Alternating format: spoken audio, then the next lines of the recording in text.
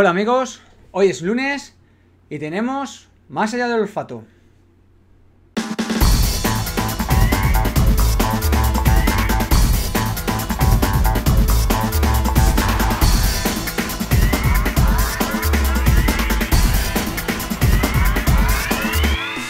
Bueno, en el programa de hoy vamos a tratar un caso que nos, hace, nos lo hace llegar un seguidor. Se trata de, de en un domicilio de una localidad madrileña que se llama Valdemorillo, pues parece ser que una persona tiene a su perro encerrado en una jaula mm, todo el día y este perro ladra constantemente. El seguidor nos dice que, vamos, os lo voy a leer, dice, estimados amigos, nos ponemos en contacto con vosotros porque sabemos que sois amantes de los animales, de los animales y conocedores de cómo actuar en estas situaciones. Pues sí, amigo, somos muy amantes de los animales, los respetamos y vamos a intentar ayudarte. Dice que en la localidad de Valdemorillo eh, hay un perro que ladra de una forma diferente a los demás. Dice que hay otros perros que ladran, lógicamente, pero este lo hace de una forma lastimera, de una forma triste. Al parecer, pues eh, este perro permanece encerrado todo el día, todo, todo el día. Dice que tienen que en la jaula se aprecian excrementos y que tiene un bebedero, un comedero, pero que no saben si tiene agua o no. Dice que puede tirarse ahí todo el día.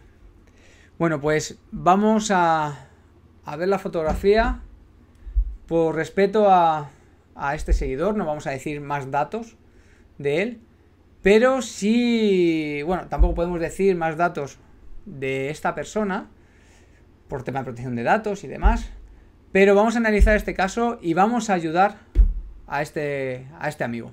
He analizado la fotografía que vamos a ver. Bueno, pues aquí veis la fotografía y efectivamente se ve el perro. He tapado lo blanco, lo he tapado yo para que no se pueda apreciar dónde está, porque hay que respetar la intimidad de las personas. Y he dejado únicamente el perro y la jaula. Bueno, pues como veis en la fotografía se ven perfectamente varias cacas que tiene, como está todo muy sucio y que eh, no tiene nada más que esta caseta de aquí a la derecha para refugiarse. Eh, un perro en esta jaula eh, podría estar un rato, unas horas si me apuras. Pero todo el día es una salvajada. Además, se puede apreciar perfectamente cómo tiene varias cacas de varios días. O sea que este perro no ha salido ahí en mucho tiempo. Digamos que las condiciones higiénico-sanitarias no las cumple.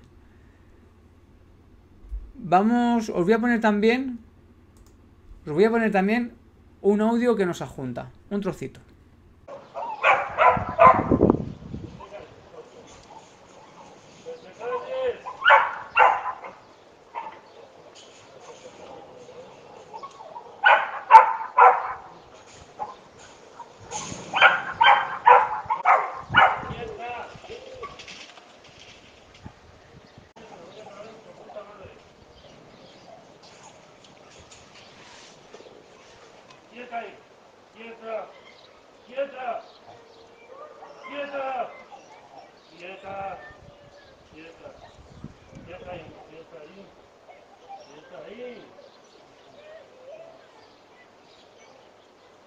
quieta, quieta, quieta, no arañas, puta, puta. Quieta, vale, vale ya, vale ya, coño.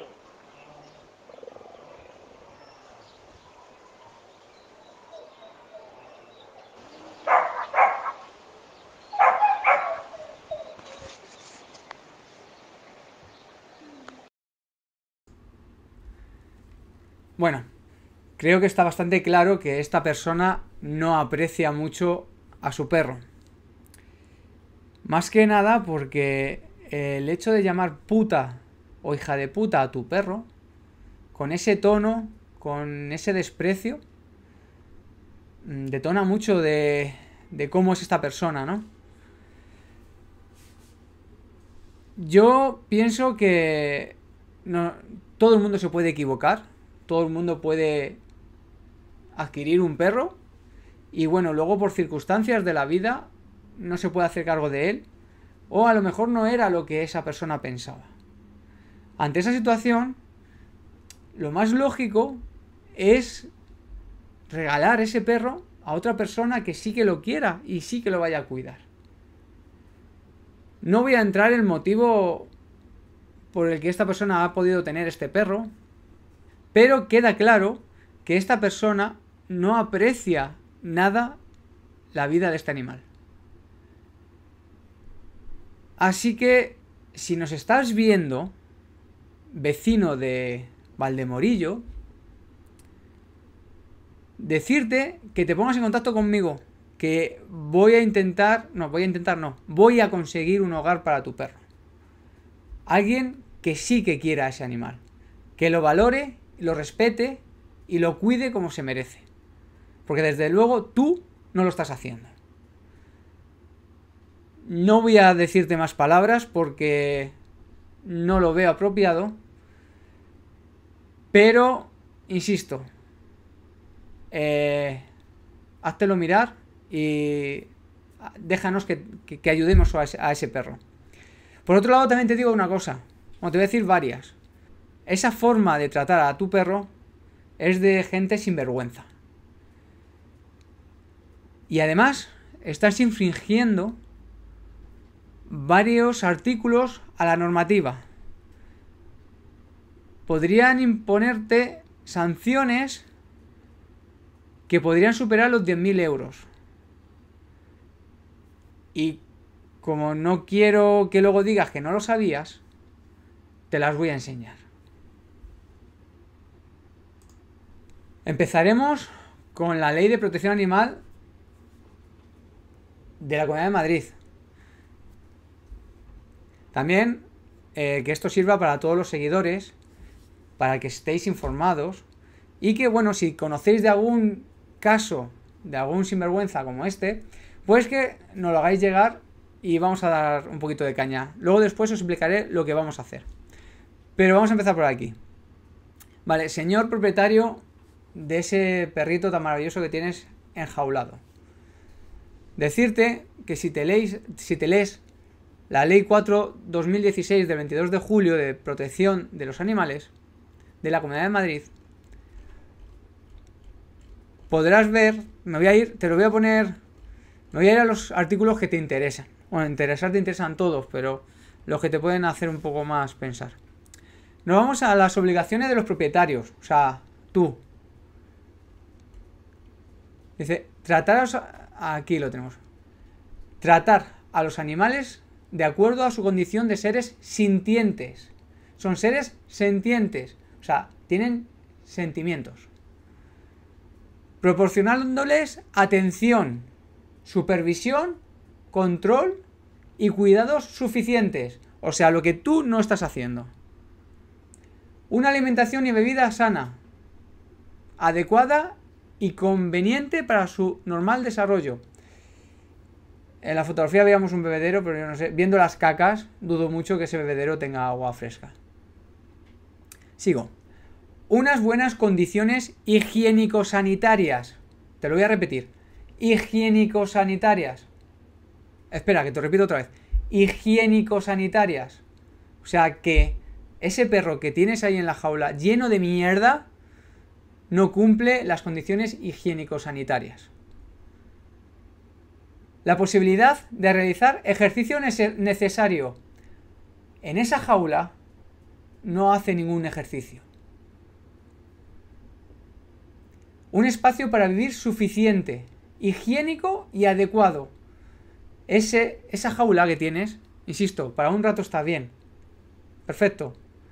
Pero para estar todo el día todo el santo día encerrado en esa jaula es una crueldad. No es un espacio suficiente para vivir. ¿De acuerdo? E higiénico tampoco, ni adecuado.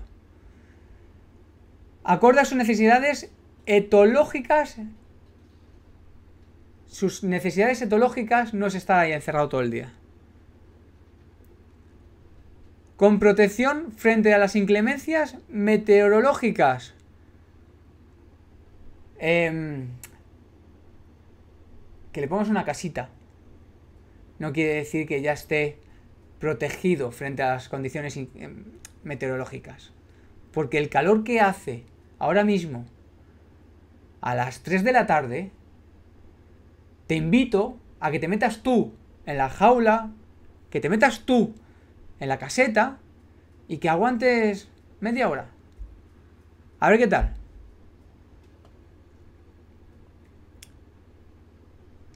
Dice, en caso de animales gregarios, o sea, por si no lo sabes, los perros son gregarios. Tienen la necesidad de juntarse con otros perros y con personas. En el caso de animales gregarios, en ningún caso podrán mantenerse aislados del hombre y de otros animales. O sea, lo que tú estás haciendo. O sea, de momento ya llevas una. O sea, incumples todo lo que hay ahí. Seguimos. Nos vamos al artículo 7. Prohibiciones. Apartado G. Una de las prohibiciones es no proporcionar a los animales la atención esencial para su bienestar. Alimentarlos de forma insuficiente, inadecuada o con alimentos no autorizados. En eso no me voy a meter porque no sé lo que le das de comer al perro. Mantenerlos en condiciones que no reúnan buenas condiciones higiénico-sanitarias, o sea, tu caso. Que no les protejan de las inclemencias del tiempo, o sea, que ahora mismo el sol que hace al mediodía no les protege. Que tengan dimensiones inadecuadas, o sea, tu jaula. O en los que, por sus características, no sea posible adecuada atención, control y supervisión de los animales. Ya te digo yo que tú no controlas mucho tu animal. Porque la cantidad de mierda que tiene esa jaula no es de un día, ¿eh? Otro apartado. El apartado I del mismo artículo.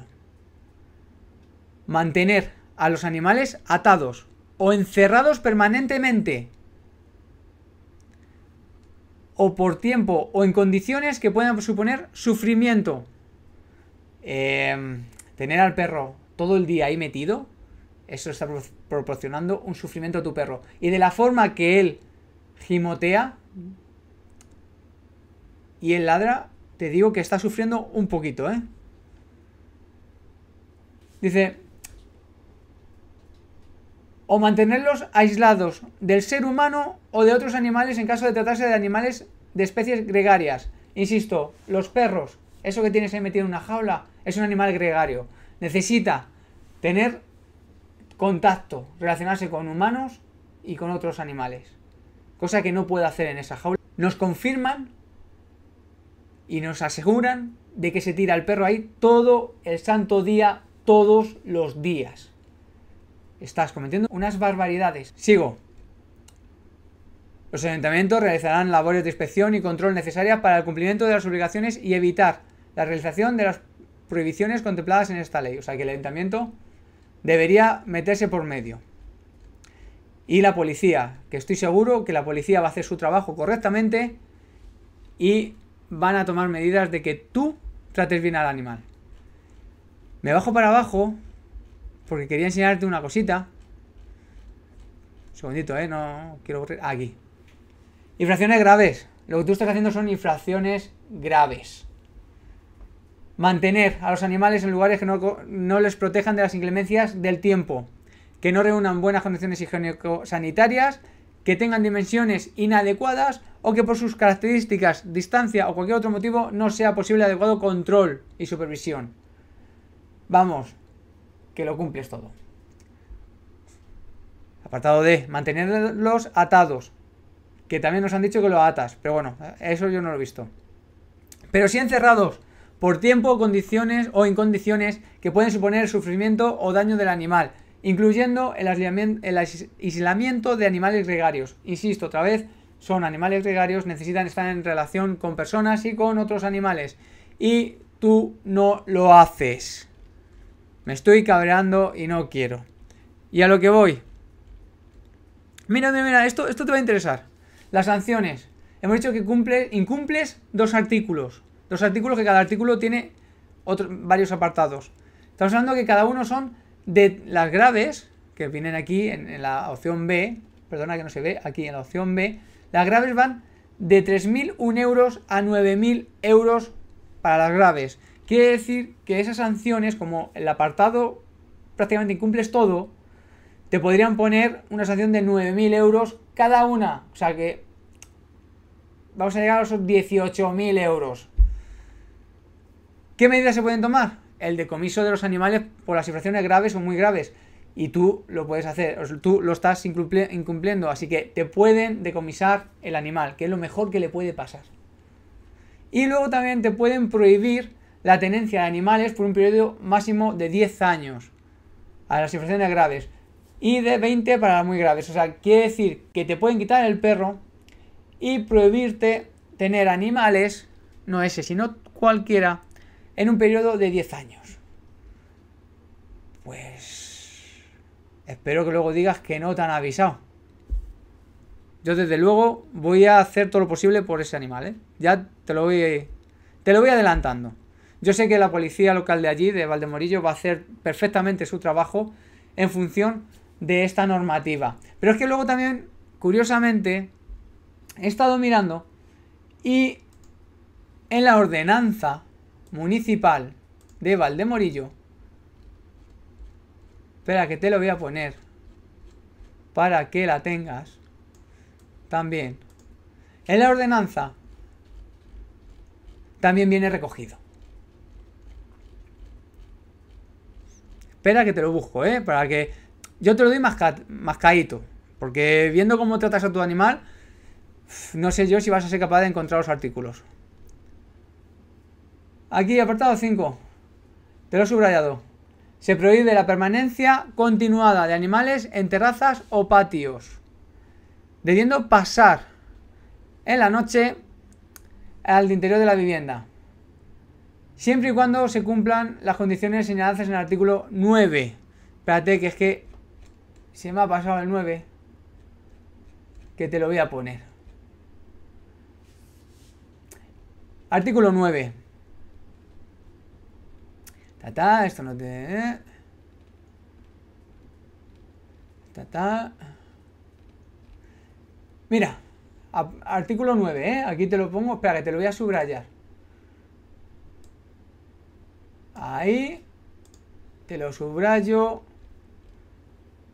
Te lo subrayo. Espérate, que voy aquí.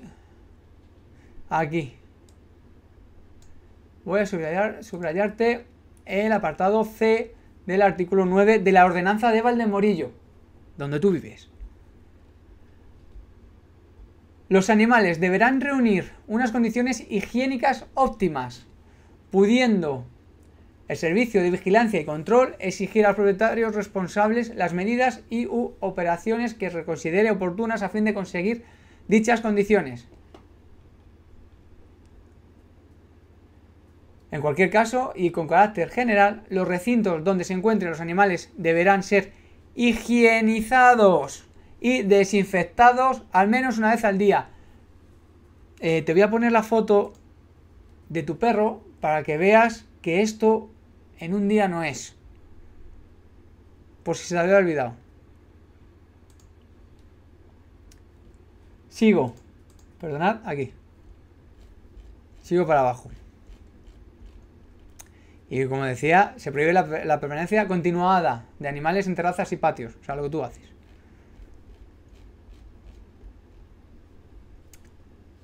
Otro, situarlos, eh, dice, eh, prohibiciones, ¿vale? Espera, te lo, subrayo, ¿eh? Te lo subrayo, perdóname, que no te lo he subrayado. Ahí. Prohibiciones, lo que está prohibido, lo que no se puede hacer. Situarlos a la intemperie sin la adecuada protección frente a las circunstancias meteorológicas, así como, perdón, mantenerlos en instalaciones indebidas desde un punto de vista higiénico-sanitario o inadecuadas para la práctica de los cuidados y atención necesaria de acuerdo con sus necesidades etológicas según raza y especie. Vamos, que tú lo estás haciendo mal. Privar de comida y bebida a los animales. Como te he dicho, en esto no te puedo decir nada porque no sé cuántas veces das de comer, ni sé tampoco si el perro tiene agua en ese bebedero, en ese comedero. Pero viendo cómo tratas al perro y viendo dónde lo tienes metido todo el santo día, todos los días del año, y viendo cómo le tratas, cómo te diriges a él, me da mucho que pensar de cómo lo alimentas y cómo le das de beber. Y aquí yo y aquí me dirijo a los compañeros de la policía local de, de Valdemorillo. Que estoy seguro que en cuanto tengan conocimiento de esto, van a actuar y van a llevar un control de que se están de que en esa casa se respetan a los animales y se da un buen trato a, ese animal y que procederá en denuncias si corresponde. Eso ya se lo dejo a los compañeros de, de Valdemorillo.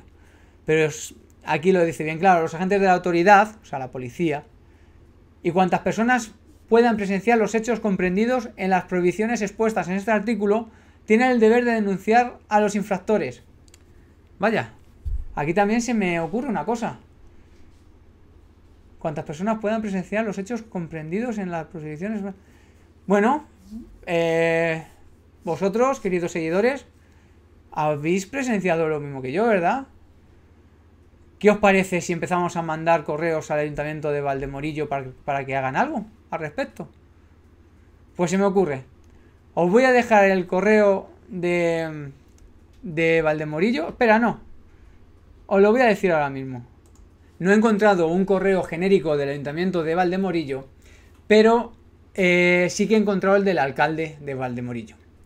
Entonces vamos a hacer dos cosas. Lo primero, los vecinos de Valdemorillo que nos estáis viendo, quiero, necesitamos ayudar a este animal. Tenéis que mandar un correo al ayuntamiento de Valdemorillo, al alcalde, alcaldía, comunicándole estos hechos. De que eh, sois conocedores que en tal dirección, vosotros sí que podéis poner la dirección, eh, tal dirección se están produciendo estos hechos donde un perro no, eh, no está en condiciones higiénico-sanitarias y está todo el día encerrado para que dé transcurso de notificación a la policía o al organismo que él considere para que lo investigue y lleven un seguimiento. Yo espero que también la policía cuando nos vea este vídeo, ellos sé que lo van a hacer perfectamente porque son unos grandes profesionales y ellos van a llevar este caso. Pero para que todo quede registrado, pues se lo vamos a hacer llegar a alcaldía. Y luego también por otra parte, todos los seguidores que nos estáis viendo, que nos seguís, necesitamos vuestra ayuda. Vamos a mandar todos un correo a esta dirección, alcaldía exponiendo que sois conocedores, tenéis conocimiento de que en Valdemorillo, en un chalet, pasan estos hechos. Lo mismo que hemos dicho que hay un perro en, condiciones nefastas, condiciones higiénico-sanitarias fatales, no sabemos si tiene agua, está todo el día llorando y que su dueño además se dirige a él de una forma despreciable e insultándole. Esto en sí no es nada, pero sí que marca un poco el carácter del dueño, ¿no?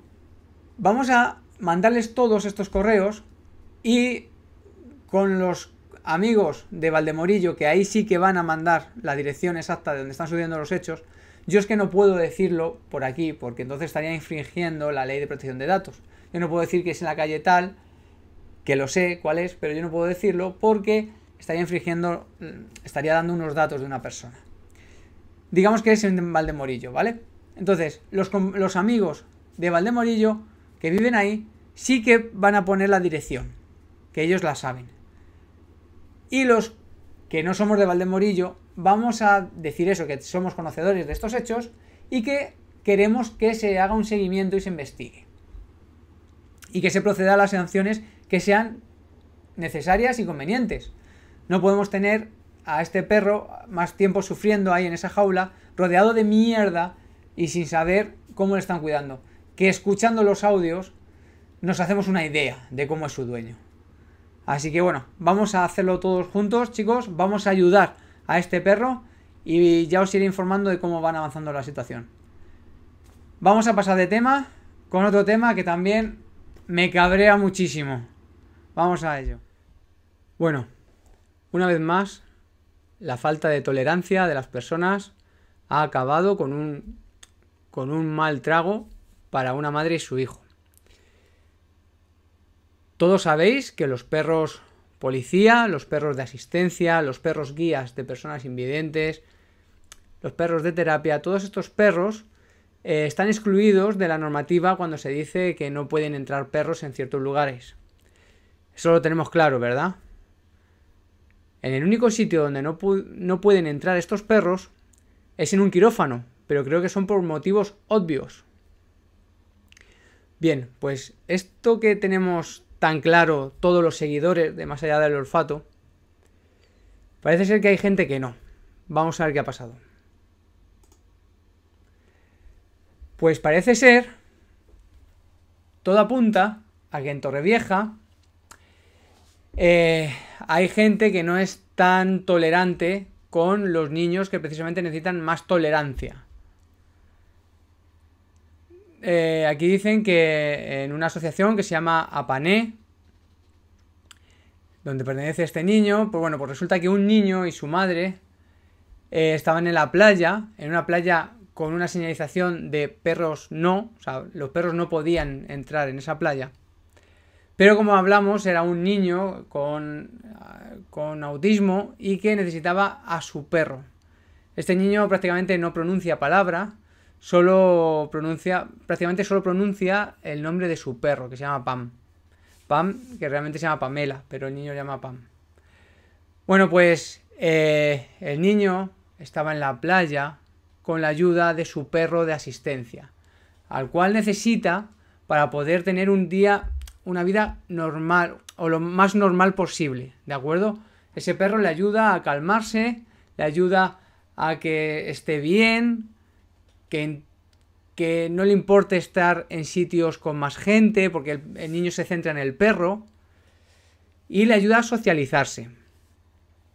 Pues bien, pues en la playa de Cala la Mosca, en Punta Prima, Torrevieja, pues encontraba un niño de esta asociación, de la asociación Apané, acompañado por su perro de asistencia. Y ha sido increpado por un grupo de bañistas, los cuales le invitaban a abandonar la playa de muy mala forma. Ha tenido que ir la policía para comprobar los hechos y efectivamente dar la razón a la madre y a su hijo. Porque ese perro sí que puede estar ahí. La madre, en consecuencia, ha sufrido una crisis de ansiedad y el niño también lo ha pasado muy mal y de hecho ya no quiere ir a la playa. Pues estas situaciones que yo pensaba que el mundo había avanzado un poco más, pues se están dando constantemente. Últimamente no sé lo que pasa, pero la gente se ha vuelto más gilipollas.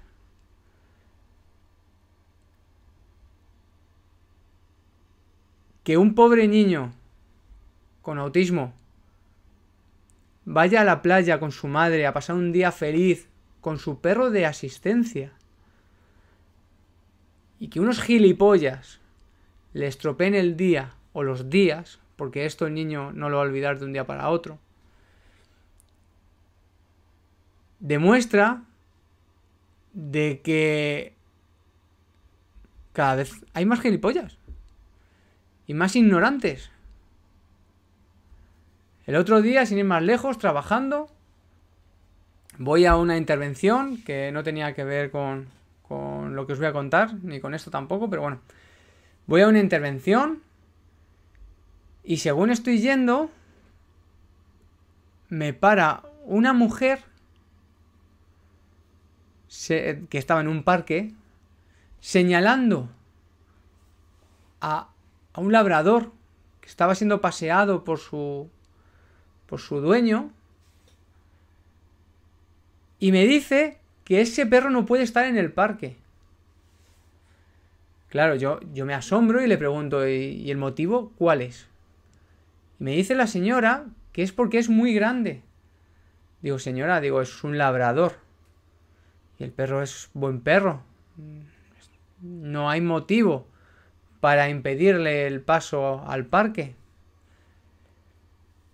Y me dice, sí, porque en este parque hay muchos niños. Digo, vale.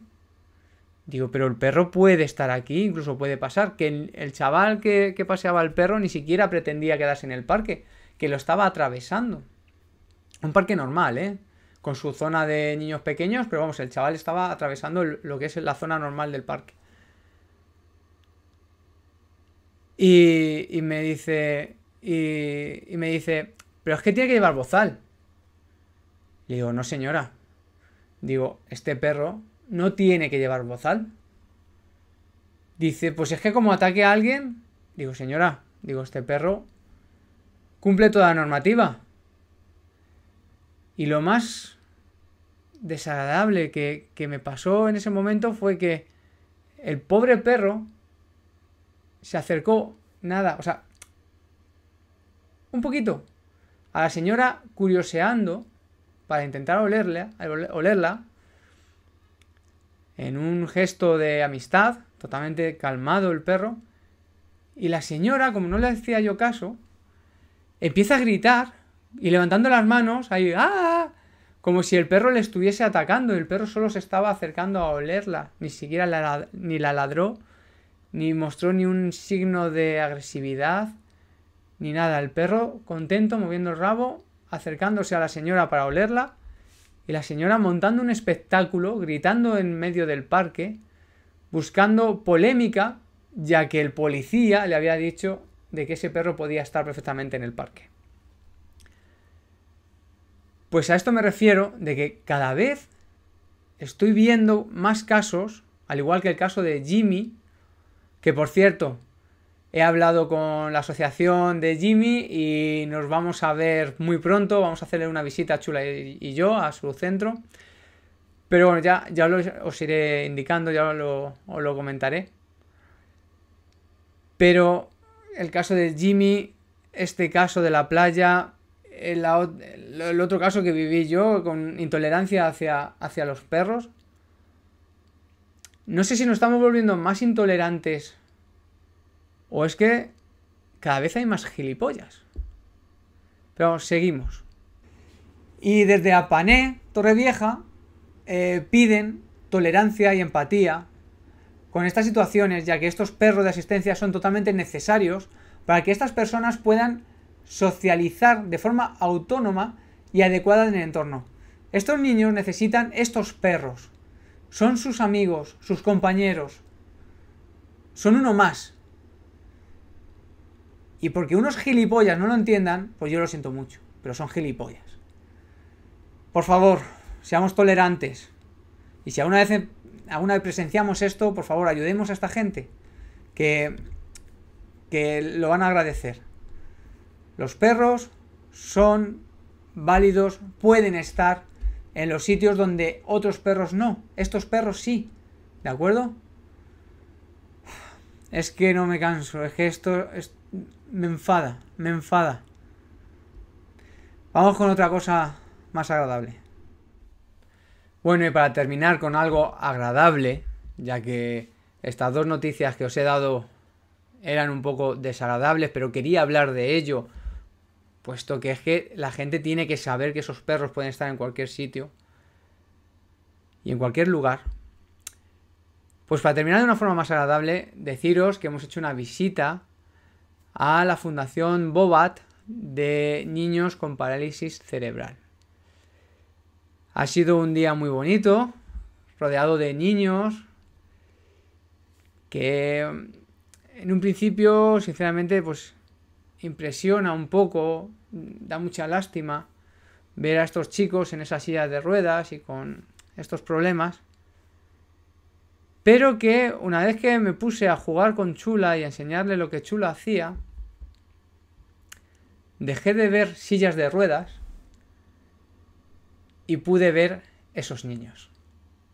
Os dejo unos pequeños vídeos de aquel día. Están difuminados, obviamente.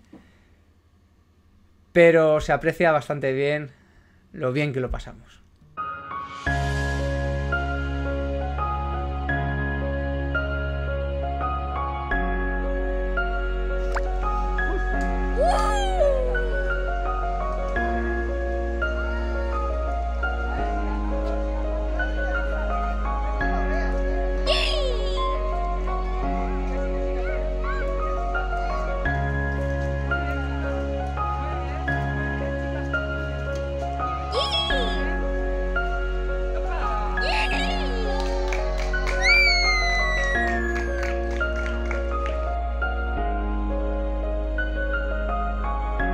A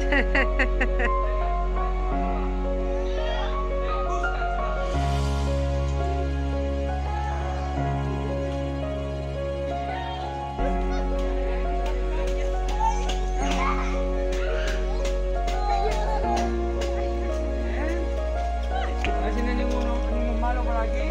¿Te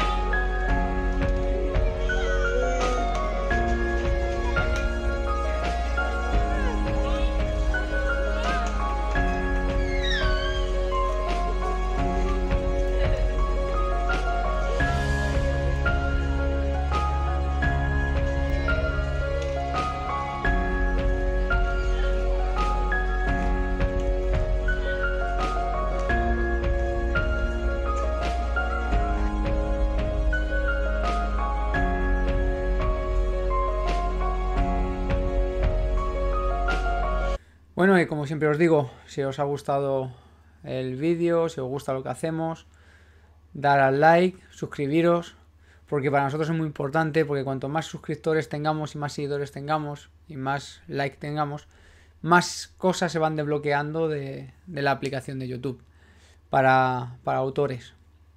Y hacen que lo podamos hacer de una forma mejor, más profesional y que podamos llegar a más personas y, y ayudar a más perretes, ¿no? Y, también pues seguir difundiendo nuestra labor de, dar voz a los perros y, concienciar del abandono animal y, evitarlo, ¿no? Y ayudar a que se adopten eh, perros que están en protectoras. Así que nada, seguimos trabajando y nos vemos la próxima semana.